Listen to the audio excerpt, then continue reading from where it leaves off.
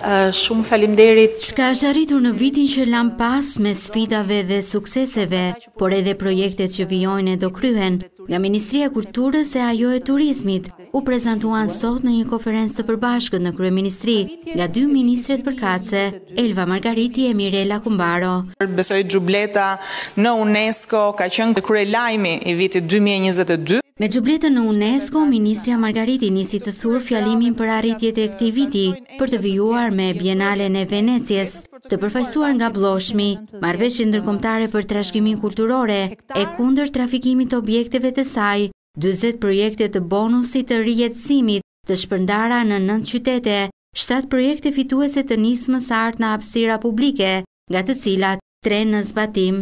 Thirrja e artit në hapësira publike nisi në vitin dy mijë e njëzet e dy, do të vazhdojë çdo vit, me buxhet të dedikuar nga buxheti i shtetit. Margariti po ashtu solli në vëmendje dhe pasurimin e skenave vendase me art e kulturë të huaj, falë Javëve Ndërkombëtare, që përfshin shtatëmbëdhjetë shtete.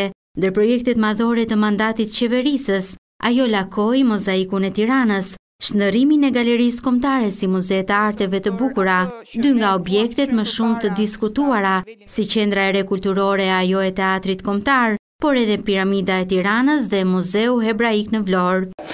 Ashtu siç Teatri Kombëtar, patjetër kantieri më ambicioz, kantieri më i madh i Ministrisë së Kulturës. Janë njëzet e tre projekte që Margariti përmendi në realizimin e të cilave Është përdorur buxheti i shtetit, kryesisht sa i përket restaurimeve të objekteve të trashëgimisë me vlerë, si kala, kisha, ura apo edhe zona historike.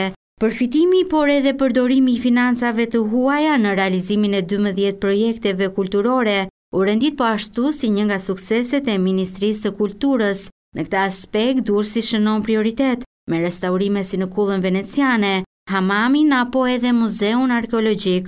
Gjashtëqind e tetëdhjetë e nëntë mijë vizitorë në institucionet e trashëgimisë kulturore pas periudhës së mbylljes pandemike u nënvizua si një tregues rimëkëmbje nga Margariti, njësoj si tetëqind e njëzet e tre shfaqje të prodhuara gjatë vitit që lamë pas.